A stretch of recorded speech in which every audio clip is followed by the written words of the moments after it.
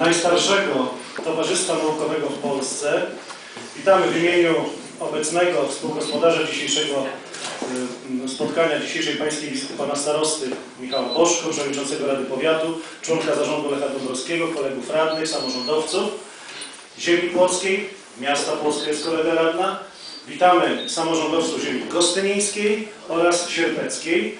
Wśród nas jest także y, no, jeden z najbardziej ciekawych naukowców, pan profesor Straszak, który dziennie przebiega około 20 km. Panie ministrze, panie. No my tylko myślamy. Szanowni Państwo, myślę, że spotkaliśmy się tutaj po to, aby posłuchać od Pana Premiera, jaka jest dzisiaj polityka, jakie są wyzwania współczesnych czasów i szkoda czasu na mój już długi wstęp, zatem oddaję głos Panu Premierowi. Dzień dobry, witam serdecznie. Poznaję tę Gerusię, powiem tak, że zaśpiewam jak Jan Wojdak, nie liczę godzin i lat, to życie mija nie my, prawda? Więc jak patrzę na tutaj Kisielewskiego Kenia, to widzę, że się nic nie zmieniło. Tam było, tam przybyło, ale jesteśmy ciągle tacy sami. To też jest piosenka z naszych e, czasów, myślę, że ważna. Koleżanki i Szanowni Państwo, zaskoczę Was, byłem już w Płocku w nowej roli, byłem na Melchiorach. Także jak widzicie, już tutaj zapuściłem macki różne. Dzisiaj mamy bardzo intensywną kontrolę dziękuję za to, że mamy możliwość spotkania, bo to jest pewne takie dopełnienie kilku spraw, które są dzisiaj najważniejsze. Pierwsza to była gospodarka, a więc Orlen i Holland.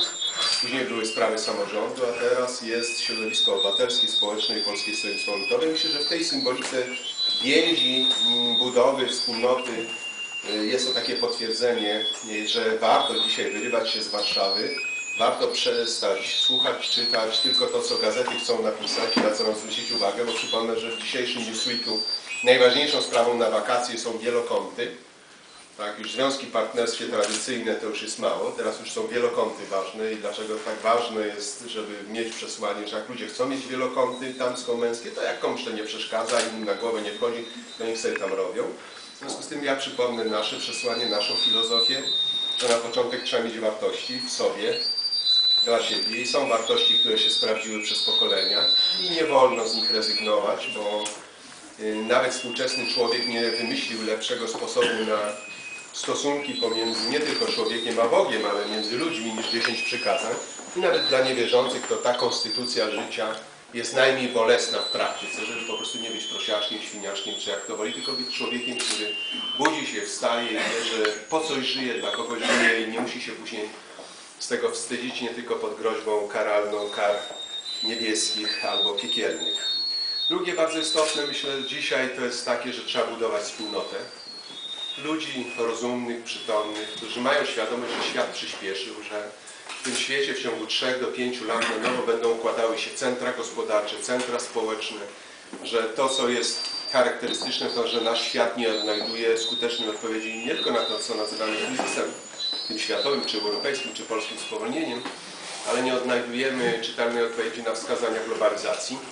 A myślę, że to jest y, bardzo ważne, żeby na chwilę się zatrzymać i popatrzeć na to, co jest za nami, co jest w nas, no ale popatrzeć z wyobraźnią w przyszłość. Otóż budują się te nowe centra decyzyjności. Świat stał się jak nigdy nie, niepewny, a współczesny człowiek ciągle woła, aby przesuwać granice wolności.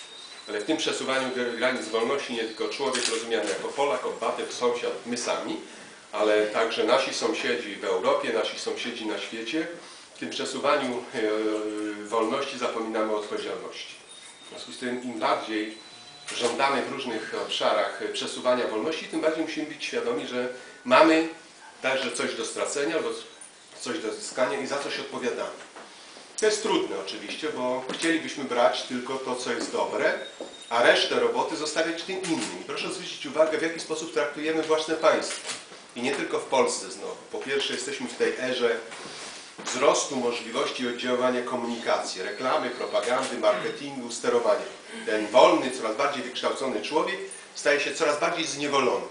A to mówią o tym, jak ma żyć, a to pokazują jakieś tam celebrytki, które co dwa tygodnie zmieniają nie tylko twarz, ale męża albo żonę celebryci. I to wszystko jest takie piękne, ładne i twórcze i ten świat jest taki pozornie bezproblemowy.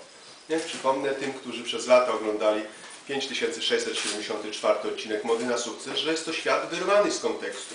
I że w tym naszym świecie nie ma tylko prezesów, którzy mają jeden problem, z kim pójdą następnego dnia do łóżka, albo z kim się rozwiodą, albo zwiodą, albo z kim będą mieli, albo nie będą mieli dzieci, tylko naprawdę to jest wyjątkowo skomplikowane. Więc jakby chciałbym, żebyście mieli świadomość, że w dużej polityce, ale rozumianej jako polityka, jak się zachowywać, no, trzeba na nowo wydeptywać te swoje ścieżki. Trzeba mieć świadomość, że świat przyspieszy i trzeba mieć jeszcze jedną świadomość, że dzisiaj nie warto tracić czasu na konflikty, nie warto tracić czasu na walkę, bo nikt się nie będzie oglądał na Polaków, żeby między sobą ułożyli, co jest, jeśli chodzi o katastrofę smoleńską, co jest, jeśli chodzi o troty, co jest, jeśli chodzi o pamięć historyczną, czy coś jeszcze. Ją trzeba mieć, ją trzeba pielęgnować. Nie można mieć jednego systemu wartości na ulotkę wyborczą i drugiego systemu na codzienne stosowanie. Nie można mówić, że się kocha i szanuje ludzi i być łobuzem w stosunku do własnego sąsiada. Jeśli ktoś myśli, że to się da pogodzić, to po prostu jest cyniczny, wyrachowany i z tego, z tej mąki, jak to mówią, chleba nie będzie. W związku z tym uważam, że bardzo istotne jest to, żeby mieć świadomość i staramy się jako Polskie Stronnictwo Ludowe, myślę, kreować aktywnie te rzeczywistości, żeby nie tak sobie narzucić tego, co było charakterystyczne w sobotę. Otóż w sobotę dostaliśmy kolejną ofertę powrotu do 2005 roku. Z jednej strony są chówce, z drugiej strony są chówce, a my Polacy mamy wybrać, kto ten bój ostatni w polskiej polityce wygra. No i w tym boju nie liczy się nic, tylko to, kto więcej obieca albo w jaki sposób marketingowo, piarowsko podkreśli swoją przewagę nad tym drugim. No i język ma być tylko taki, żeby przykuć na sobie uwagę. W ogóle nie ma co mówić o realnych sprawach, tylko powiedzieć, no to chodzimy od ściany do ściany. Kiedyś my powołaliśmy gimnazja, to teraz je zlikwidujemy. Kiedyś my powołaliśmy powiaty, to teraz je zlikwidujemy. Kiedyś my mu, y, komercjalizowaliśmy służbę zdrowia, to my teraz co zrobimy? Ją reprywatyzujemy albo etatyzujemy. Zwracam uwagę, że jakąś drogę, jakąś pamięć instytucjonalną, jakiś dorobek już mamy w tym obszarze. I myślę, że osoby tutaj, które przyjęły zaproszenie, które są, to wiedzą, że jeśli się nie zapracuje, to bardzo trudno jest to podzielić to, co jest niezapracowane. I dzisiaj jakby najważniejsze, i to jest przesłanie, które do Was kieruję jako lider Polskiego Stronnictwa Ludowego, i jako ekonomista odpowiedzialny w czasach wyjątkowo trudnych za gospodarkę, dużo trudniejszych niż myślałem w grudniu, kiedy obejmowałem funkcję wicepremiera ministra gospodarki, bo jakież było zdziwienie, i Marysia to potwierdzi, na Radę Naczelnej, kiedy powiedziałem, że już wkrótce nasz rząd PO i PSL-u będzie jak drugi rząd Witosa, że przyjdą kolejne grupy i będą, mówili, dajcie więcej pieniędzy, bo brakuje. A my będziemy tak jak Witos odpowiadać, że nie mam i nie dam. No i macie, za chwilę będzie nowela budżetu, niestety najgorsza z możliwych w dół, prawda? Jeszcze tylko nie wiemy, jaka to będzie skala tego budżetu. Ale chcę zwrócić uwagę na jedno i to jest jakby myślę, że fundamentalne. Dzisiaj jest czas właśnie na to, aby ludzie środka, racjonalizmu i pragmatyzmu razem w wielkiej kupie zawołali. Nie czas dzisiaj wywoływać wojny polsko-polskiej i dotychczasowym stylu ją realizować. Szczególnie jeśli proponuje się w tej wojnie tematy zastępcze. Tematami kluczowymi musi i powinna być gospodarka. I to, co jest niepokojące, to wśród części obywateli, nawet tych, którym bardzo dobrze się powodzi, nawet tym, którym funkcje życiowe się spełniają, nawet tych, którzy ukończyli dobre uczelnie, znaleźli bardzo dobrą pracę, jest prosta pokusa. Zmieńmy coś. Wielu ludzi wprost mówi do mnie tak, Janusz, tyle lat jesteśmy w Unii Europejskiej, dlaczego ja nie zarabiam tyle, co Niemcy? Wy też macie takie pytanie.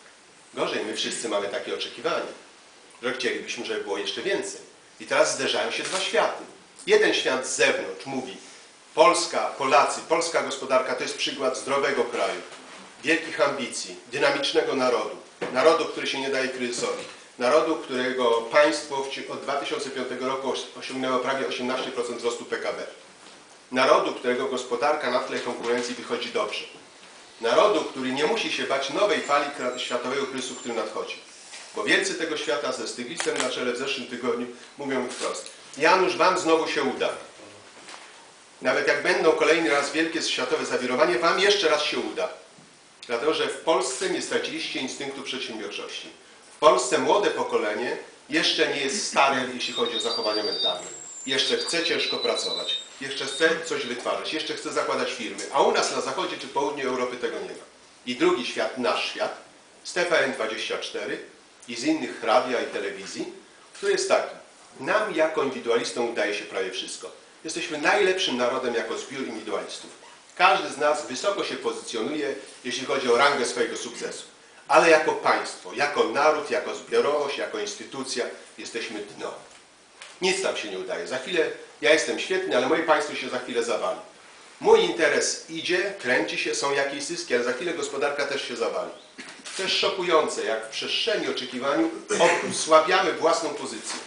Chcę powiedzieć Wam, że z dumą, i to jest Wasz sukces, nie polityków, Donaldów Tusków, Januszów Piechocińskich, Jarosławów Kaczyńskich, Palikotów czy kogokolwiek, nawet prezydentów, nie będę ich jeszcze raz przypominał i. Jest to, co się stało, że w ciągu pięciu ostatnich lat na tle światowego kryzysu opinia o Polsce się tak zmieniła pozytywnie. Przejeżdżają wielcy tego świata i mówią tak, kiedy pytam, dlaczego Pan jest zainteresowany Polską? Bo to jest kraj sukcesu, ludzi głodnych jeszcze sukcesu. Ludzi, którzy nie tylko oferują swoją pracę, ale mają pomysły, są innowacyjni, są elastyczni. Ba, u Was nawet związki zawodowe wyglądają inaczej. I o strajkach generalnych to się mówi więcej w telewizji i w gazetach niż w zakładzie. W zakładzie, na poziomie zakładu przychodzi lider związku zawodowego, nieważne czy z Solidarycą, czy bez Solidarycy i mówi szefie, to jest w Warszawie, a my się tu uflagujemy. Bo my rozumiemy, że nie podżyna się gałęzi, na której się siedzi. W związku z tym dla 86% inwestorów zagranicznych w Polsce wielką wartością dzisiaj, atrakcją polskiej gospodarki jest stabilność i przewidywalność polityczna, społeczna i gospodarcza. No to teraz zróbmy to, co zrobili sobie Włosi. Czy zróbmy sobie jako Polacy to, co sobie zrobili Czesi. To czym się to skończy? Kiedy wejdziemy w ciągłe cykle polityczne, ciągłe ulotki, ciągłe wybory i tak dalej. Patrzcie, co się stało. Z jaką łatwością na rok przed wyborami samorządowymi dzisiaj obala się kolejnego prezydenta, wójta czy burmistrza. Jak wielu ludzi, także na ziemi płockiej, szuka byle jakiego pretekstu, żeby zaistnieć, spozycjonować się na tle obecnego wójta, starosty czy burmistrza. I nieważny jest pretekst. Farma wiatrowa może być, przebieg rury, kanalizacji, bo przecież ma być u sąsiada. Nie u mnie. W związku z tym tak bardzo ważne jest, żeby wydusić w te sobie emocje, że jest nudno, wywróćmy sobie ten stolik, a później się zobaczy. Bo przypomnę, nie tak dawno Monti to był facet, który uratował Włochy przed destabilizacją gospodarczą. A z wyborów demokratycznych wyszło, wygrał komik, drugi był ten, który ma teraz wyrok i ma własne media, trzeci ktoś tam, a Wielki Monti jest czwarty. Nie ma się co obrażać na demokrację, tylko pokazuje sobie bardzo wyraźnie, stwierdzam tylko fakt, że trzy wielkie gospodarki europejskie, które jeszcze są przed nami, a w ciągu tego trzylecia wyprzedzimy jedną z nich, to jest Hiszpanię. Hiszpania, Włochy i Francja są, stoją dopiero przed wielkimi kłopotami gospodarczymi. I dlatego tak ważna jest nie tylko moja determinacja, ale to powinna być nasza determinacja. Dlatego się mówiłem o tym w Orlenie i mówiłem w Holandzie, o tym, żeby szybko zidentyfikować miejsca polskiego eksportu. Bo bardzo ryzykowna jest sytuacja, do której się przyzwyczailiśmy po wejściu do Unii Europejskiej, że 3 czwarte wymiany polskiej, wymiany handlowej jest z krajami Unii Europejskiej. To jest jedną czwartą PKB światowego. A tylko jedną czwartą mamy z resztą świata, który tak przyspieszył. Ale uwaga, w tym przyspieszaniu jest też dramat Brazylii, która jeszcze kilka miesięcy temu była pokazywana jako wielki sukces wyciągnięcia z głodu i egzystencji 200 milionów ludzi. To jest porównywalne z Chińczykami, że nie ma głodu półtora miliarda ludzi. Sytuacja jest stabilna. I Turcji. Kilkadziesiąt drzew na pewnym placu, co ujawniło? Wielką destabilizację ideową, polityczną, społeczną, gospodarczą, nie wiadomo czym się kończącą. I dlatego też te narody, te gospodarki, te państwa, w których jest skuteczna i sprawna demokracja, która ogranicza konflikty, która sprowadza te konflikty nie tylko do tego, że się zażremy, zagryziemy, oplujemy, ale to, że znajdziemy jakąś przestrzeń, w której możemy być ze sobą razem. I w świecie polityki, i w świecie samorządu, i w świecie organizacji pozarządowej przecież nie musimy wydawać sobie każdego dnia wojny. Bo po co? Po co tracić czas na wojnę polsko-polską? Na dogrywkę z nieskonsumowanej koalicji POPIS z 2005 roku, na dogrywkę z 2007, z 2011 popartej dramatem smoleńskim 2010 roku. Możemy w nieskończoność w tej przestrzeni walczyć ze sobą. Tylko jaka będzie z tego wartość dodana dla naszych dzieci i wnuków? Czy z tego będą wyższe emerytury? Czy z tego, z tego, z tego będzie sprawniejsza gospodarka? W związku z tym tak ważne jest, żeby te całe wszystkie chęci, chcenia ludzkie, ambicje przenieść w ten wyścig globalny, którym Polska razem cała i Polacy, w tym także polscy politycy, mają świadomość wagi spraw.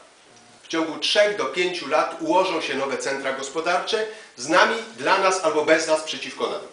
I to jest pole wyboru. I proszę Państwa, na czym polega problem? Że o tym polu wyboru wy się nie dowiecie żadnej telewizji z gazety. Bo strywializowała się nasza debata publiczna.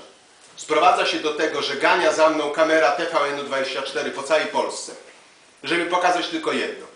Minę zdziwionego Piechocińskiego, kiedy gdzieś w Gdańsku, gdzie jestem na dwóch oddanych i dużych inwestycjach, które dają kilkaset miejsc pracy, kapitału polskiego i kapitału amerykańskiego, zobaczyć jedno. Jak będę głupio wyglądał, kiedy zadadzą mi pytanie. A to był pierwszy sondaż, w którym PiS przeskoczyło PO.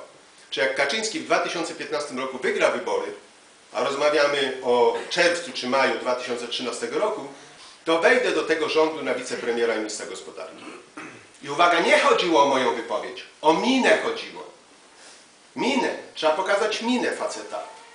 Jest Europejski Kongres Gospodarczy, jest sześciu czy ośmiu ministrów gospodarki krajów Europy Środkowo-Wschodniej. Wielki sukces, że udało się przyciągnąć 60 czołowych polityków, dyplomatów i dużych przedsiębiorców z krajów Afryki Czarnej. I dostaje jedno tylko pytanie. Czy premier powinien odwołać muchę? Tłumacz to tłumaczy, wszystkim szczęki opadają, bo ja pół godziny wcześniej tłumaczę, kto jest kim, dlaczego tu przyjechał, jak ważne jest, żeby Europa Środkowo-Wschodnia budowała nową jakość, wnosiła coś do nowej, wolnościowej europejskiej gospodarki w kontekście nowej umowy o wolnym handlu ze Stanami Zjednoczonymi, o której chcę szerzej trochę powiedzieć, żebyście mieli wizję i myślenie o tym, jak dzisiaj świat się skomplikował. I znowu, dlaczego o tym komplikującym się świecie nie usłyszycie w żadnej polskiej gazecie, w żadnym polskim radiu? Dlaczego na rok przed wyborami europejskimi w ogóle nie ma mowy o Europie? Nieważne, którą drogę i ścieżkę wybierzemy i dalszej integracji czy dezintegracji Unii. Ale dlaczego o tym Polska nie dyskutuje? Czołowi dziennikarze, czołowi profesorowie, czołowi publicyści. Dlaczego nie ma takiego sygnału? Słuchajcie, nasza Europa tym razem z naszym udziałem się sypie. Nie ma już tej Europy, do której wchodziliśmy. A ta Europa, która jest, jest wyjątkowo niepewna. A ta Europa, która będzie, nie wiadomo wcale, czy będzie Europą korzystniejszą dla nas niż ta, do której wchodziliśmy w 2004 roku. A może będzie zupełnie inna. Może to nie cyfrowi, ale nam zaproponują, że jak się źle wydarzy w systemie bankowym, to sięgniemy do waszych lokat. A teraz coś tam już proponują. I mówią, że w pewnym świecie bankowości rozważają przecież coś takiego. No to co, my się zgodzimy na to, czy się nie zgodzimy? W związku z tym pokazuje bardzo wyraźnie jakby, że tej rzeczywistości mieć trzeba ten twardy grunt pod nogami, mieć to oparcie, mieć to życzliwe za, za plecami, żeby ktoś nie bił i żeby Polacy byli razem. I dlatego tak ważne jest, żebyśmy nie dali się zamęcić i nie poszli tą drogą, w której mamy jeszcze raz zero-jedynkowo potwierdzić, czy lepszym politykiem w odbiorze zewnętrznym, garniturze, sposobie przemawiania jest Jarosław Kaczyński czy Donald Tusk.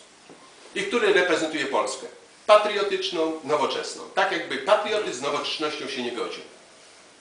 Nie tak dawno, z okazji 3 maja, proponowano nam wzniecenie wielkiej debaty, sprymityzowanej, o tym, że jest wielka, wielki brak koegzystencji pomiędzy pojęciem naród i społeczeństwem obywatelskim. No już przecież to sobie wyjaśniliśmy. Jan Paweł II bardzo wyraźnie napisał, od czego pochodzi państwo, ojczyzna i naród, a od czego pochodzi społeczeństwo obywatelskie. I wyraźnie w książce Tożsamość i Pamięć wyraźnie wskazał, że to tylko poszerza pewien zbiór i że to są nieprzeciwstawne sobie wartości, ale dopełniające się w tym znaczeniu. I nagle okazało się, że patriotyzm jest wszeteczny, średniowieczny, a społeczeństwo obywatelskie nobliwe, liberalne i nowoczesne. O czym my w ogóle mówimy? I uwaga, elity chciały zatruć myślenie narodu takim konfrontacyjnym sposobem myślenia. W związku z tym, dlatego też jesteśmy w Płocku, w stolicy historycznej Piastowskiego Mazowsza, ale mówię, bardzo dużo wręcz krzyczę o tych wyzwaniach w świe- w świecie wartości, o drogowskazach, że jeżeli o tym naród zapomni, społeczeństwo zapomni, my zapomnimy, nie będziemy tego pielęgnować, to będziemy przegrywać. I tu nie chodzi o to, że będziemy przegrywać istotę przewag Solidarności nad murem berlińskim.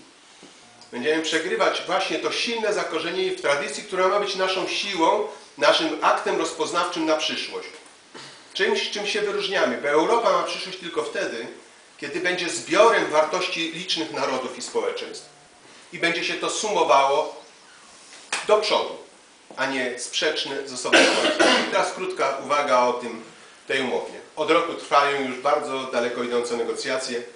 Szersza publiczność polityczna, społeczna i gospodarcza w Polsce dowiedziała się o tym przy okazji wyłączenia części audiowizualnej na wniosek krajów francuskojęzycznych, a więc tych kwestii wartości kultury, telewizji, dostępu do praw autorskich. Ale uwaga, dylematy są następujące. Dlaczego Piechociński mówi o tym, że do 3 razy 20 w polityce energetycznej trzeba dodać dwa kolejne dwa razy 20? 3 razy 20 to już znamy, to jest udział OZE, zmniejszenie emisji, wzrost efektywności. A on mówi o czwartym 20. Minimum 20% PKB pochodzącego z przemysłu nowoczesnego, bo bez przemysłu nie będzie Europy. I piąte 20, stabilizacja do roku 2015, a później w perspektywie najdalej do roku 2025 obniżenie w Europie cen energii o 20%. Bo nowe mocarstwa na świecie wydały Europie niesamowitą wojnę. Ten dramat w Bangladeszu ujawnił jedno. W Bangladeszu na nasz rynek szyje się koszule i nie tylko koszule za 20 dolarów miesięcznie. W tych skandalicznych warunkach człowiek, który dostaje tam pracę jest szczęśliwy, bo ma 20 dolarów miesięcznie. W Chinach przeciętny robotnik dostaje 80 dolarów miesięcznie. Europa nie może się ścigać na poziomie 20 czy 80 dolarów. Bo w tych warunkach geograficznych, przy naszym stanie, po tym co było naszym udziałem, nie utrzymamy się tutaj za 1000 dolarów miesięcznie. W związku z tym musimy mieć inną przestrzeń do rywalizacji. Teraz w tej umowie amerykańskiej i europejskiej gospodarki, gdzie po naszej stronie będzie już 28 krajów, bo dzisiaj Chorwacja jest tym właśnie kolejnym członkiem, trzeba po pierwsze szybciej musimy wypracowywać decyzje. Ale tam jest jeden rząd centralny, u nas jest 28, gdzie przenosi się coraz więcej decyzyjności z poziomu narodowego na szczebel europejski. Nie wszyscy się zgadzamy na to, nie we wszystkich sprawach. Druga sprawa, Ameryka dla równowagi prowadzi negocjacje z Azją i Ameryką Łacińską, czyli ma nad nami przewagę, że może powiedzieć jak nie tu, to tam. My chcielibyśmy, żeby ta umowa była wcześniej. I trzecie, najważniejsze. Zderzą się w nowej przestrzeni ekonomicznej zupełnie inne gospodarki. Gospodarka po światowym kryzysie, zrestrukturyzowana, gospodarka, która przyciąga inwestycje, jest w 38 bodajże procentach w ostatnim badaniu najbardziej atrakcyjnym rynkiem przyciągającym inwestycje. Gospodarka mimo wszystko z największymi zasobami i przede wszystkim najważniejszy, gospodarka, w której od roku 2005 cena energii zdrożała 1% w wyniku gazu łupkowego.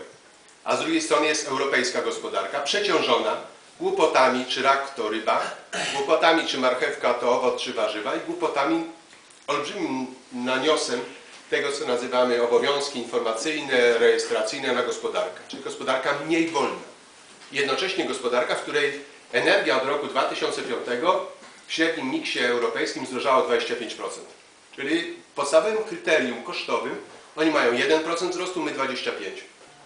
Ale w wyniku pakietu klimatyczno-energetycznego oni będą mieli 1,5% wzrostu w 2020 czy 2025, a my będziemy mieli 30% wzrost. W związku z tym teraz już widzicie, dlaczego mówię o tym spadku jako zadaniem. Jeżeli nie można będzie poprzez technologię, nowe źródła energii, to trzeba obniżyć cenę energii w Europie poprzez inny system opodatkowania energii. No i znowu pytanie jest takie. Nie pójdziemy drogą niemiecką, gdzie OZE niemieckie kosztowało 800 miliardów euro. Nie pójdziemy drogą czeską, gdzie sobie wpuścili fotowoltaikę chińską i zdemontowali system energetyczny, a teraz nie wiedzą jak to poskładać. My musimy iść innym OZE i innym systemem energetycznym. No i czy o tym rozmawiamy na poważnie? Czy w tej sprawie wypowiada się Jarosław Kaczyński? Czy w tej sprawie jest Janusz Palikot? W związku z tym pokazuje bardzo wyraźnie, że trzeba potrząsnąć nami w tym myśleniu i jakby pokazaniu tych obszarów, w których naprawdę nie musimy być przeciwko sobie, tylko na jakimś poziomie racjonalności, na jakimś poziomie zdrowego kompromisu my Polacy uzgadniamy także dla polityków scenariusze pozytywne. Że bez względu na to, kto zostanie wicepremierem, ministrem czy czegoś za rok czy za dwa, nie będziemy chodzić od ściany do ściany. Bo w przypadku służby zdrowia tak sobie chodzimy. Był Fundusz Narodowy Zdrowia, później były kasy, później było coś tam, teraz jest oddłużenie, a za chwilę może być etatyzacja tego, co zostanie resztą. A uwaga, w Londynie jest 2000 Polaków lekarzy. To jest dokładnie 1% wszystkich lekarzy brytyjskich. Czyli kształcimy na potrzeby wyeksportowania. A za chwilę będziemy mieli wielkie problemy ludzkie w zakresie naszego e, leczenia. I uwaga, nie tylko z powodów ekonomicznych mamy do czynienia z tym, z tym e, faktem. W związku z tym pokazuję bardzo wyraźnie, jak dzisiaj czas wyzwań zmusza, zmusza, to już nie jest wołanie, zmusza nas do nowego myślenia o racjonalnej, pragmatycznej polityce. Szukania partnerów, szukania sojuszników, że w różnych sprawach może się w czymś nie zgadzamy z Tuskiem, może się w czymś nie zgadzamy z Kaczyńskim, czy z każdym innym politykiem, to samo przecież jest w samorządzie, czy obok nas na ulicy. Ale odwróćmy sytuację. Może przestańmy mówić o tym, co nas różni, a zbudujmy katalog pozytywnych spraw, co nas dzieli, co nas łączy. Co może zrobić PSL z PiSem, co może zrobić dzisiaj PSL z PO, co może zrobić z kimś tam, z kimś tam. Najtrudniej będzie nam z palikotem, bo oni nawet biogazownię chcieliby robić na narkotykach. Ale może jest jakiś obszar spraw w obszarze deregulacji, że konopie nie będą najważniejszym tworzywem do y, biogazowych. Więc koleżanki i koledzy, pokazuję, szanowni państwo, pokazuję wyraźnie i wołam także tutaj w Płocku o to, żebyśmy się starali odbudować wspólnotę myślenia, racjonalności działań, takich bardzo pozytywnych.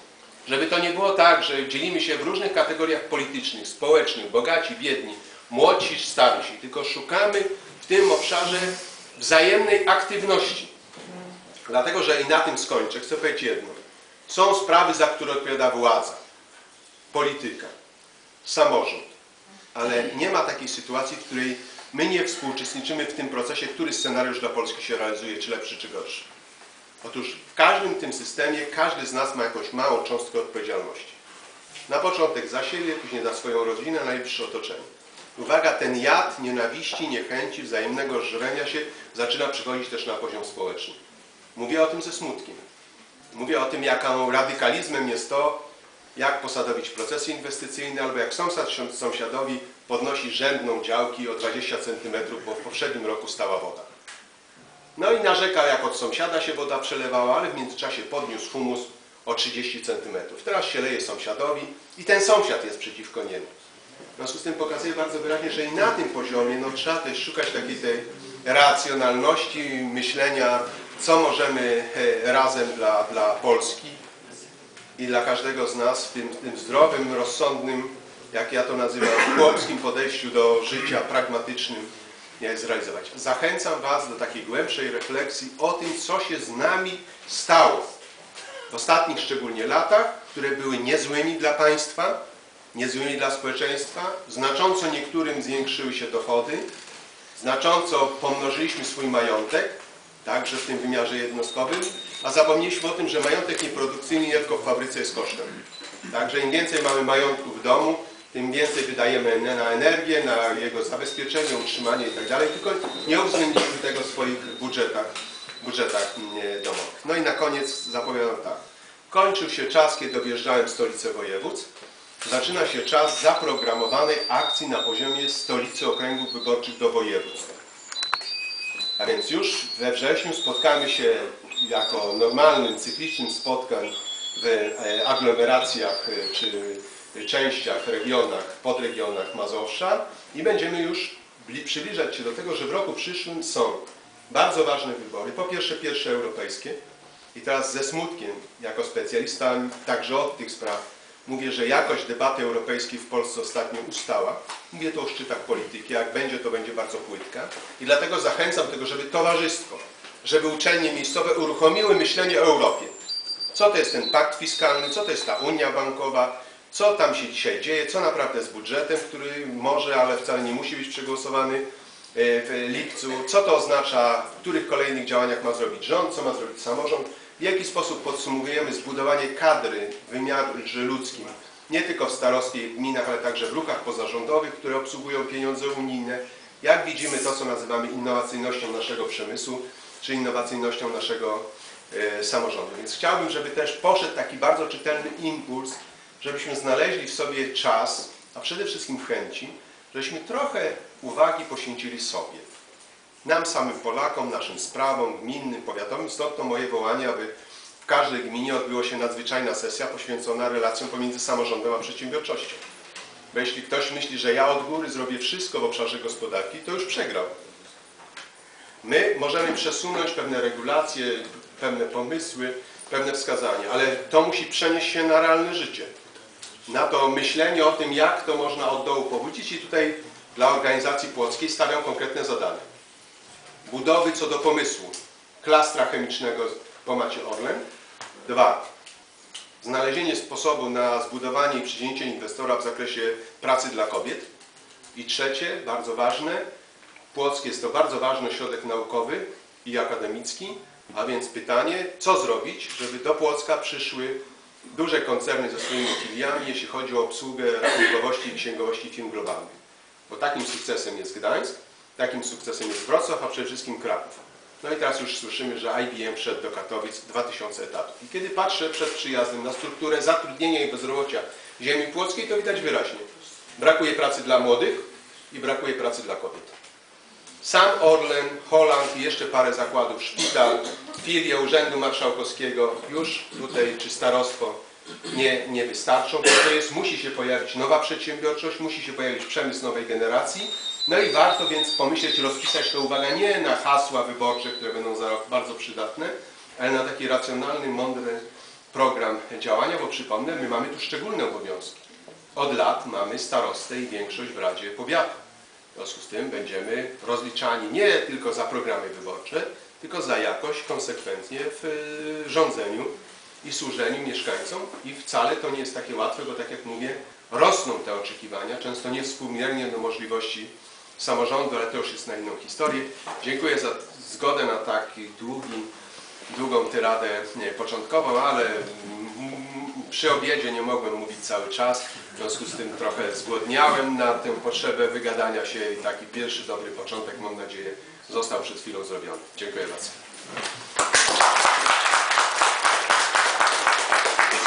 Jakby do tej pory ktoś nie wiedział, jak wygląda mówca polityczny, to tak wygląda. Dziękujemy Panie Premierze za podniesienie wielu ważnych wątków życia zarówno europejskiego, politycznego, ale także z podwórka krajowego. Wśród nas są, tak jak powiedziałem, przedstawiciele nie tylko samorządu ziemi płockiej, jest starosta, wicestarosta sierpecki, jest starosta Gos- gostyniński, są wójtowie, radni. Zatem na pewno będą pytania związane ze zbliżającymi się wyborami zarówno do Europarlamentu, do samorządu, ale także pewnie e, będą podniesione problemy, które nurtują nas, samorządowców przecież. Zatem oddajemy głos Państwu, e, szczególnie, że mamy e, kolejne punkty spotkania w Towarzystwie Naukowym, jeszcze w innym miejscu, no i Pan Premier musi przed 20 być w Warszawie. Zatem zachęcamy do zadawania krótkich pytań z prośbą także o krótkie odpowiedzi. Powiedzmy tak, około 19.30, bo moja żona ma na imię Halina i dzisiaj jest Halina.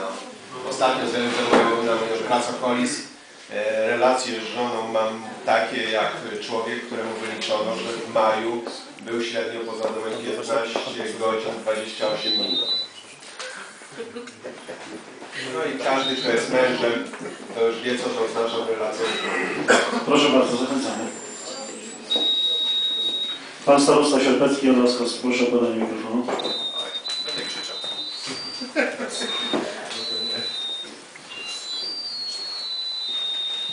Kolego prezesie, kolego premierze, ja mam takie pytanie, które nurtuje nas, samorządowców. Kolega premier mówił, mówi o gospodarce. Dla nas jako samorządowców ta gospodarka jest bardzo istotna. A to się wiąże dla nas jako samorządowców z jednym takim teraz trudnym elementem naszej polityki ekonomicznej, a mianowicie artykuł 243 ustawy o finansach publicznych. O co chodzi. I jeżeli teraz my nie popuścimy pewnego rygoru związanego z tym artykułem, co przy nowelizacji budżetu byłoby uzasadnione, to my jako samorządy będzie, przeżyjemy, bo my sobie budżety stworzymy. Tylko w tych naszych budżetach nie będzie środków na inwestycje. A jak nie ma środków na inwestycje, to y, widzę na sali kilku przedsiębiorców, ben- wiedzą co to dla nas jest. My nie będziemy budowali dróg, nie będziemy modernizowali obiektów oświatowych, czy szpitala i tak Ja widzę w tej chwili, co się dzieje na, na naszym powiecie, gdzie bezrobocie w tym roku tylko na poziomie y, styczeń y, maj wzrosło o 4%. Mimo, że teraz czynimy wielkie starania i żeśmy prawie 900 osób udało nam się gdzieś poutykać po w różnych formach zwalczania tego bezrobocia, to patrząc na przyszłość, to co mówi skarbnik, będą duże problemy, żeby znaleźć środki na inwestowanie na rozwój tego powiatu. I druga sprawa, jeżeli teraz zbliżamy się do perspektywy 2014-2020, w której robimy projekty, przygotowujemy się pod względem nowych, nowych tam pomysłów na rozwój naszych tutaj tej, yy, terenów jesteśmy powiatem ziemskim. To jeżeli my nie będziemy mieli znowu środków na dołożenie do tego, co się znajdzie w tej perspektywie finansowej przez Unię Europejską, to my jeszcze bardziej zahamujemy swój rozwój. Dlatego mam prośbę, czy nie warto by było ten artykuł 243, jesteśmy w tym trudnej sytuacji finansowej, albo go zamrozić na dwa lata, bo gdy nam go wprowadzano 3 lata temu, powiaty były w różnej sytuacji finansowej. W tej chwili wiemy, czytając sobie dzisiaj prasę, że takich jednostek y, samorządowych jest około 130. Ale to jest to według wyników, które ma Ministerstwo Finansów. Natomiast rzeczywistość jest dużo, dużo gorsza. Jeżeli my rozmawiamy z samorządowcami na spotkaniu w tamtym tygodniu, czwartek, gdzie byli starości z powiatów yy, województwa mazowieckiego, to sytuacja jest bardzo poważna. To samo jest u wójtów. I dlatego prośba w tym kierunku. I druga jeszcze prośba, yy, Panie Premierze, nasz tutaj region Płocki przemysł, innowacyjność, tak, wyższe y, uczelnie, tak, ale my też jesteśmy gminami wiejskimi i terenami wokół wiejskimi. No, jesteśmy troszeczkę różnorodni, bo Janka w Gostyninie to jest turystyka i może być turystyka, ale u nas w powiecie sierpeckim w ogóle jesteśmy nastawieni na gospodarkę, na przemysł rolno-spożywczy. I tutaj warto też by było, jeżeli by takie możliwości były, zainwestować w ten rozwój tego przemysłu, bo naprawdę mamy bardzo mocne rolnictwo, które może też pobudzić ten region w ogóle i cały Płock. Znaczy mocne, mamy mocne rolnictwo w tej części województwa drobiowe na przykład i o, w zależności od rozstrzygnięcia z ubojem literalnym może się okazać, że roz, będziemy rozbudowywać tą wytwórczość z wielkim sukcesem. Może się okazać, że będziemy redukować tą wytwórczość o jedną trzecią. Milion 140 tysięcy to był eksport drobiu głównie do krajów islamskich. No i niektórzy miłośnicy zwierząt ja też jestem, miałem kota Klofasa, pięknej jakości dachowca, prześliczny kot. Nigdy w życiu karpia nie zabiłem, ale jestem zwolennikiem tego, żeby jak jest chów, y, je, musi być i ubój. Tak? No i też 430 tysięcy ton wołowiny i to jest 1 130 tysięcy. I teraz każda wizyta, szczególnie z kierunku islamskiego, głównie ze świata arabskiego, to jest pytanie, czy Polska zapewni tą podaż mięsa. No i to są te dylematy, a proszę zwrócić uwagę, na jakim poziomie jest dyskusja o boju rytualnym. Emocji związanych z miłością do zwierząt, i te aprobuję, po cichu ukrytym sentymentem antyżydowskim czy antyarabskim, i tego już nie aprobuję. I po trzecie, takim wyrachowanym myśleniem, że czego oczy nie widzą, to serce nie boli. W związku z tym znaczna część tej produkcji i samego uboju zostanie wyprowadzona gdzie indziej. No i proszę zwrócić uwagę, że od pół roku jesteśmy pod niesamowitą presją i na dobrą sprawę sił politycznych jedna tylko siła to mówi, a w tym czasie o półtora złotego wołowina poszła w dół. A za chwilę będziemy mieli problem kurczaków. To jest jedno. No i teraz po kolei. Piotrek potwierdzi, że dla nas to jest jeden z kluczowych spraw, jeśli chodzi o wewnętrzne relacje koalicyjne i rządowe. Mówię tutaj o poluzowaniu samorządom, bo pan minister finansów chce śrubę samorządom, jeśli chodzi o deficyt finansowy, przykręcać mocniej niż sobie. No i teraz już rozumiecie, skąd się biorą trudności dlaczego w ujęciu statystycznym jest ten pomysł na trzy warianty wobec OFE. Jest przede wszystkim przesuwanie rachunkowo-księgowe, także długu i deficytu budżetowego. My mówimy wprost, że nie ma takiej możliwości, żeby naraz wszystkie samorządy gminne i powiatowe miały te problemy i po drugie, że trzeba w statystykach samorządowych zupełnie inaczej wyodrębnić kredyty czy obligacje zaciągnięte na inwestycje. Bo inwestycja to nie jest konsumpcja. Inwestycje to są inwestycje. No i wokół tego, wierz mi, kolego starosto, nie będzie lekko ministrowi Rostowskiemu, tak jak wokół ordynacji podatkowej. Nie ma PSL-owskiej zgody na te intencje, które wyraził w projekcie czy w założeniach projektu ordynacji. To nie może być tak, że mu umacniamy urząd skarbowy w funkcji niekontrolowanego kontrolera i rzeźnika przedsiębiorczości. Nasza, nasze pomysły ministra gospodarki poprzedniego i obecnego są takie same. Urząd skarbowy przyjaciel i anioł stróż podatnika i przedsiębiorcy, a Urząd Kontroli Skarbowej, inspekcja, która trzyma twardą ręką szarą strefę i tych, którzy łamią prawo. I tutaj wokół tego naprawdę rozegra się, kto wie, czy na poziomie trzaskania w koalicji, już nie drzwiami, rozegra się poważny spór. Bo to nie może być tak, że kolejny raz dociążymy przedsiębiorczość, na przykład solidarną odpowiedzialnością za VAT za wszystkie inne, a Urząd Skarbowy będzie mógł zrobić z przedsiębiorcą wszystko. Na przykład zakryć mu konto na dwa lata, bez ponoszenia za to konsekwencji. Uwaga, zwracam uwagę, że udało się wdrożyć, przyjąć w założeniach i za chwilę będzie ustawa i za chwilę wejdzie w życie, że przenosimy ciężar współodpowiedzialności za procesy gospodarcze także administracji. Otóż w czwartej deregulacyjnej jest zapis dotyczący portów i od 1 stycznia nowego roku administracja celno-skarbowa, fitosanitarna i każda inna musi odprawić towar w ciągu 24 godzin. Jeśli tego nie zrobi, przedsiębiorca ma roszczenie wobec Skarbu Państwa. Celnicy już mi się buntują. Mówią, że będą straty. Ja mówię nie. Będą bardzo często wyrzucani z pracy z celnicy. No bo nie może być tak, czy się stoi, czy się leży, tak jak na wschodniej granicy, przed świętami prawosławnymi, nieważne z czyjej winy, cztery dni ludzie stają upokarzający w kolejkach. Z psującym się towarem, z dramatycznym zamrożeniem kosztów pracy, kosztów y, samochodu itd. itd. No przepraszam. To naprawdę już jest Europa. I my o tej Europie jako standardzie cywilizacyjnym marzyliśmy i to realizujemy. I uwaga, nie tylko wobec polityków poprzeczka weszła, poszła do góry.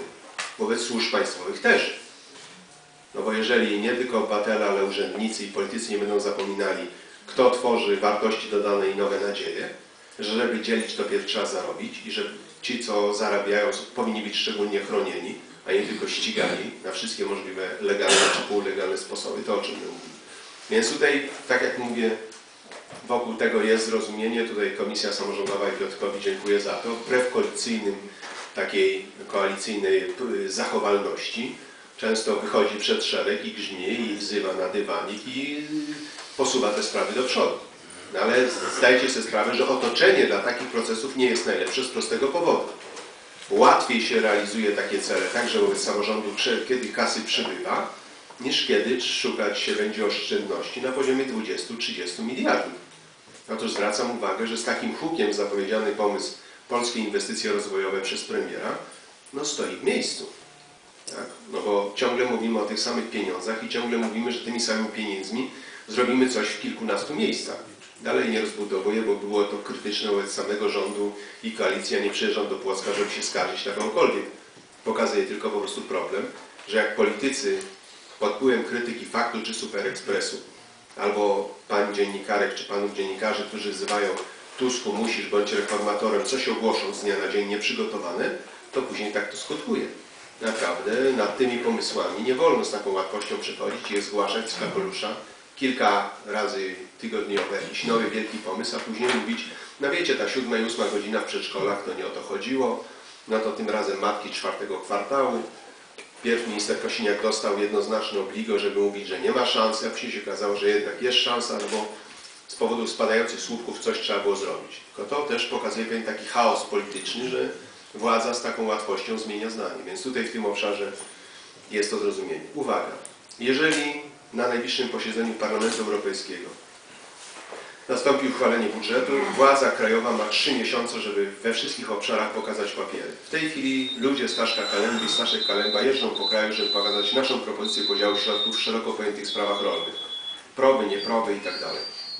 Zapraszam, żeby wysłać zaproszenie. Zjawi się tutaj odpowiednia reprezentacja i pokaże. Uwaga, mimo że rzeczywiście w lutym, w marcu był to wielki sukces polskiej dyplomacji polskiego rządu, tym także wielki sukces PSL-u, bo przy mniejszym budżecie mamy wzrost i to jest istotne, to tych pieniędzy w stosunku do zgłaszanych potrzeb jest zdecydowanie za mało. Więc sprawą fundamentalną jest to, jak my te, w tej nowej perspektywie podzielimy te pieniądze. Pierwszy podział. Ile na rybkę, ile na wędkę. Jestem zwolennikiem przesunięcia jednoznacznego. Dość akwaparków, dość sal, boisk, domów kultury, oper i tak. Wszystka możliwa kasa na wsparcie przedsiębiorczości, na ograniczenie zużycia energii, na efektywność, na dokończenie infrastruktury i tak. I dlatego umrę, jeśli nie będzie politycznie, jeśli nie będzie specjalnego funduszu dla dróg powiatowych. Dlatego, że w prowie będą pieniądze na gminy, 900 kilkadziesiąt milionów euro, no to znowu jak popatrzymy, to nie są tak wielkie pieniądze, bo to razy cztery liczymy i wychodzi nam, ładnie wygląda zagregowany, będziemy się starać zwiększyć, ale uwaga, dla dróg powiatowych nie ma. No i jakże inaczej by wyglądała Polska, gdyby intencja Janka Łopaty, a pomysł Janusza Piechocińskiego w roku 2008 wszedł w innym kształcie. Mielibyśmy dzisiaj Krajowy Fundusz Drogowy, gdzie gminy pożyczałyby na nieoprocentowane pożyczki kwotę równoważną 10 miliardom złotych. A tak na mało wydolne, nieefektywne w sumie schetynówki porobiliśmy kawałki dróg. Jeżeli ktoś miło oczekiwane przez społeczeństwo i duży sukces w tym rozumieniu, że się coś zrobiło, tak? Ale kiedy nałożymy te schetynówki na mapę województwa warszawskiego ten, i zobaczymy, że są to kropki, a nie ciągi drogowe, to już wiemy, że nie uzyskaliśmy innego efektu. Jest efekt trochę bezpieczeństwa, jak przychodziło przez ten. Często było robione to na zgłoszenia przez lasy, a nie było zrobione tam, gdzie być powinno zrobione. W związku z tym przemodelujemy, będzie o to potężne starcie, bo w zmniejszonym budżecie będziemy o tym mówić. To też wymaga paru rzeczy. Może kolego premierze... Nie, ja już jeszcze dokończę ten temat, bo zapraszam, żebyście, proszę, żebyście zaprosili ludzi Kalendy, bo są to także powiaty rolnicze. No, tutaj jest większość samorządowców, więc pierwsze przesłanie było ogólne, ale przecież my mamy w stosunku do tej przestrzeni rolniczo-wiejskiej szczególne zobowiązania. Więc chcę przypomnieć, co było ważne. Niektórzy z Was gdzieś tak w lutym, w marcu dziwili się, że nie rzucam tej teczki wicepremiera i obrażony na Tuska za parę rzeczy nie rozwalam tej koalicji. No przypomnę, że po Kopenhadze SLD robiło wszystko, żeby podzielić sukces kopenhaski między siebie. No i był taki czas w tej koalicji, że nasz koalicjant także zastanawiał się nad wariantem przyspieszenia kalendarza, bo oni mają coś, czego my nie mamy. Doświadczenia AWS-u. W związku z tym na zapleczu PiSu i na zapleczu Platformy, nie tylko w zależności od tych sondaży, istnieje takie to, czy to już czas czasami rzucić siebie odpowiedzialność i nie zainwestować w nowy twór polityczny. Zwracam uwagę, że wedle mojej wiedzy i moich odczuć i mojej zdolności przewidywania, bardzo realna jest sytuacja, kiedy to w roku 2015 po jesiennych wyborach, jeśli będą w konstytucyjnym terminie, w parlamencie z dotychczasowych partii o tej nazwie i z ludźmi, których znacie, będzie PSL. Reszta mogą być wszędzie inne szyldy. Tak daleko może iść destabilizacja czy destrukcja polskiej polityki. No bo na pewno już ten los jest przesądzony na lewicy. No bo tutaj albo Palikot zagryzie SLD, albo SLD zagryzie Palikota, bez względu na wyniki już wiadomo, że na lewicy po wyborach europejskich powstanie nowa inicjatywa. I że szyld SLD odejdzie skutecznie tym razem w niepamięć. Pytanie jest o losy PiSu po wyborach, kiedy nie wezmą władzy i pytanie jest też, czy nasz koalicjant przy tej destabilności wewnątrz dotrzyma do końca tak? i czym się to wszystko zakończy. W związku z tym też chcę pokazać współodpowiedzialność PSL-u za przewidywalność demokracji, za stabilność tego myślenia, bo niektórzy myślą sobie, że tak łatwo jest, dobra, pogniewali się, kładziemy na stół, idziemy na wybory. No po pierwsze jest jakaś władza niekontrolowana przez parlament, po drugie rozpoczyna się niesamowita agitacja i radykalizacja ocen społecznych i po trzecie może się okazać, że z tego worka wyjdzie to samo co jest, tylko trochę innej strukturze. I nagle trzeba budować koalicję trzypartyjną. No teraz albo mamy rząd, który z góry jest skazany, że jest rządem mniejszościowym, bo nikt z nim drugi nie chce stworzyć koalicji. Albo mamy za chwilę coś pod patronatem pana prezydenta, nieoparte w płaszczyźnie parlamentarnej. Mamy postulat jeden powtórki wyborów w perspektywie pół. Związku z tym zwracam uwagę, że to nie jest takie, takie proste. No i tutaj jaki mamy dylemat w przestrzeni wiejskiej? No chciałbym, żebyście też wiedzieli, bo jesteście tu w większości bardzo blisko tej przestrzeni rolników. Z pomocy unijnej w tej kończącej się perspektywie skorzystało 70 parę tysięcy gospodarstw. Różnie. Mówię o tej aktywnej na przykład modernizacji sprzętu i tak dalej. I teraz pytanie jest takie, czy w nowej perspektywie obniżamy górną granicę wsparcia z 300 tysięcy w dół? Nie godzą się na to gospodarstwa duże, wysokotowarowe. Oczekują tego gospodarstwa średniotowarowe i mniejsze. Te, które są na pograniczu między gospodarstwem socjalnym a towarowym, oczekują większego wsparcia, bo być może będą tymi gospodarstwami towarowymi. Czy też z góry mówimy, nie damy pomocy do gospodarstw, których nie ma następcy. No i politycznie to też coś oznacza, bo wiemy w ilu gospodarstwach, także w regionie płockim, jest następca, który chce przejąć to gospodarzenie. No i tu też bywa z tym po prostu różnie. No i druga sprawa, co chcemy kreować i co chcemy pomagać. Czy rozpuścimy to ogólnie w kolejności, czy na przykład mówimy, ci, którzy już wzięli, nie dostaną. No i teraz wiemy, że część tych gospodarstw, na przykład, żeby nie sięgać do Waszych przykładów, ale pewnie jest tutaj sporo też dyrektorów czy zastępców dyrektora powiatowych agencji restrukturyzacji, możecie zrobić własny taki bilans, powie jedno. Świetnie wykorzystali w Grójcu najlepsi, najbogatsi sadownicy. No niektórzy po cztery traktory, samochód ciężarowy, jeszcze chłodnie i coś jeszcze. No uwaga, wykorzystanie tych maszyn na przykład w tych gospodarstwach jest poniżej racjonalności ekonomicznej. No kupili sobie kombajn z, z Nowego Holanda. Uwaga, ten kombajn pracuje w tym gospodarstwie 40 motogodzin rocznie. Przepraszam, kombajn niewykorzystywany na poziomie 180-220 godzin rocznie jest y, po części utraconym nakładem. Tu powiedzmy sobie to otwarcie. W związku z tym zwróćcie uwagę, jakie są napięcia, kiedy przystępujemy do rozmów z rolnikami czy mieszkańcami wsi, w co zainwestować, jak podzielić te pieniądze. Każdy mówi tak, zróbcie tak, tylko żeby było lepiej. Oczywiście przez lepiej każdy rozumie, że to do niego powinny przynosić większe pieniądze. No i teraz też tu zadaję Wam pytanie, jak będą Was pytać ludzie Kaleby, czy obniżyć z 300 na 200, czy na 250, a może podnieść do 500 i postawić tylko na gospodarstwa towarowe. Może skoncentrować się na kurnikach, mleczarzach i czymś jeszcze. A odpuścić tych, którzy wiadomo, że w rywalizacji europejskiej nie mają szans. No bo za chwilę w tej umowie amerykańskiej z Ameryką nie tylko będziemy mówić o GMO, to będziemy mówić o ekstensywnej pszenicy wyprodukowanej tańszym kosztem na tańszej energii, a intensywnym rolnictwem europejskim o dużo wyższych kosztach. No i w ciągu trzech lat może się okazać, że w Polsce nie opłaca się produkować pszenicy. Bez GMO. A nawet z GMO będzie po prostu z natury swojej rzeczy nieopłacalna. Więc po prostu pokazuje, jakie mamy dylematy. To, żebyście wiedzieli, że nawet gdyby tych pieniędzy było 20 miliardów euro więcej, te dylematy byłyby takie same. Na przykład, nie ukrywam, mam problem z wykorzystaniem dobrych pieniędzy w dziale gospodarka. 50% beneficjentów, którzy podpisały umowy, wycofują mi się z tej krizy umów, bo się otoczenie rynkowe pogorszyło. Często zerwały się więzi, często odbiorca przestał sygnalizować popyt. No i nagle wraca i mam do podziału jeszcze 6 miliardów. I nie chcę rozdać tego na zasadzie rozdać, aby fakturować, bo chcę wydać ważny. Tak?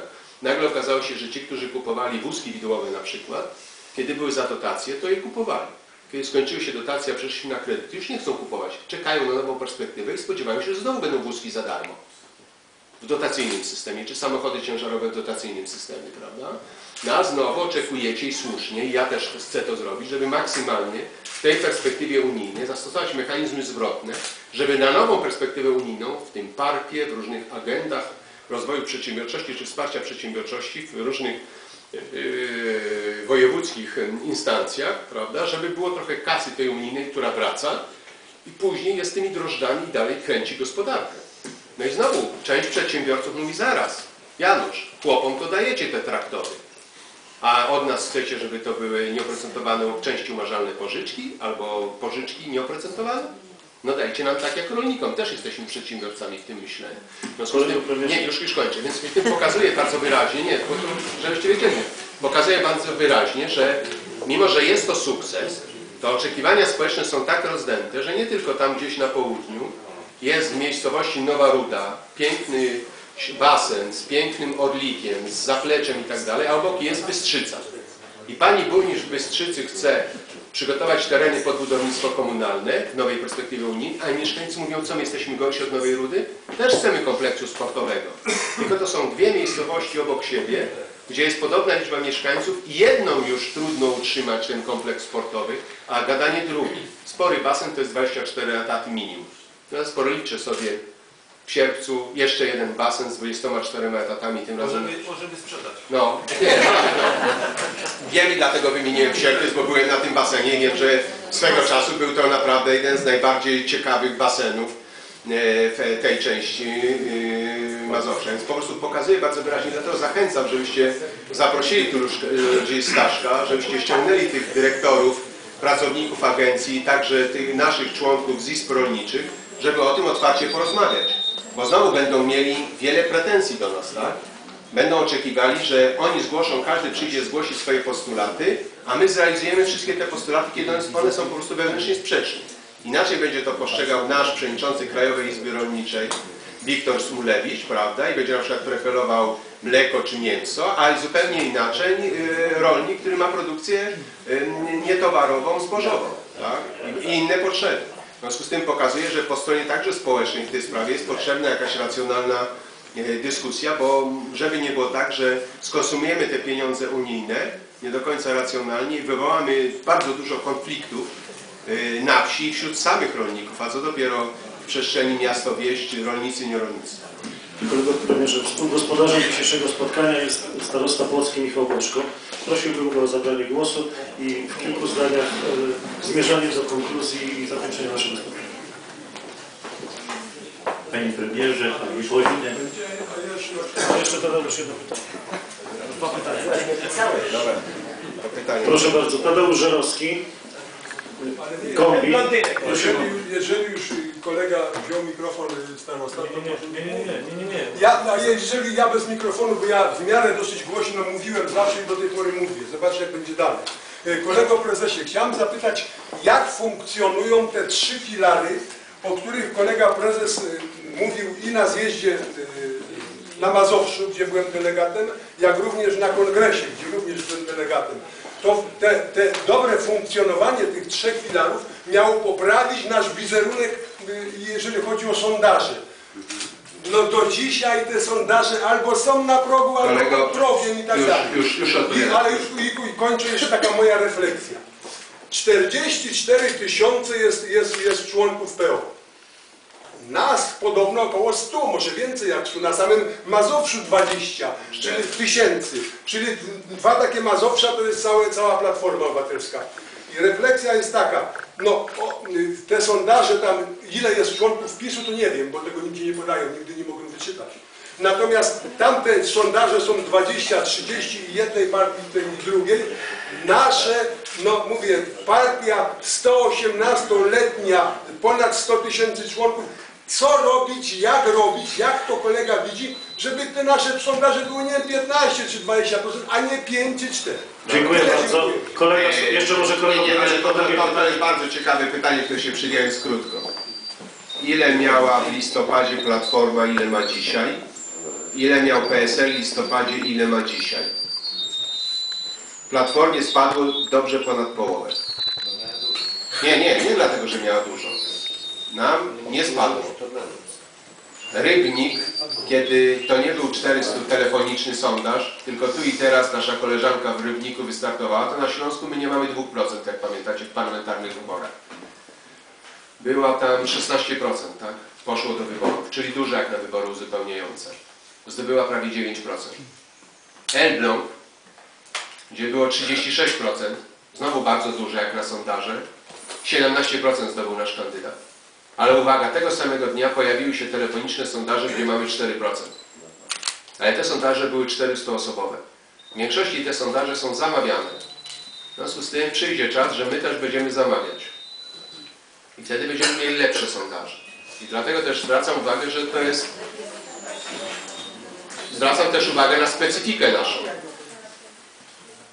Nie ma co, nie tylko w sprawie uboju rytualnego PSL zachowuje się wobec wsi rolników bardzo racjonalnie. Ale czy zawsze ci, wobec których my się zachowujemy bardzo racjonalnie, bez względu na to, czy jesteśmy w koalicji opozycji, to czują i rozumieją? Czy dla polskiego rolnictwa dzisiaj emocje smoleńskie, prawda Kaczyńskiego, uwaga, nie tak dawno, narkotyki palikota w gminach wiejskich nie dały 5%. Jak w stosunku do... Rolnicy twierdzą, że PSL robi za mało, a wszyscy nierolnicy, łącznie z dziećmi rolników, twierdzą, że hamuje restrukturyzację polskiej wsi, bo na przykład utrzymuje KRUS i utrzymuje przywileje dla rolników.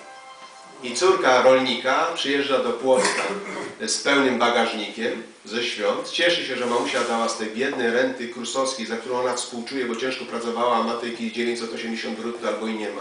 50 zł każdemu dziecku, ale po przyjeździe do Płocka pytana, czy zlikwidować przywileje rolników, mówi tak, chłopom trzeba zabrać. Mamusi zostawić, bo mamusia ciężko pracowała, ale chłopom trzeba zabrać.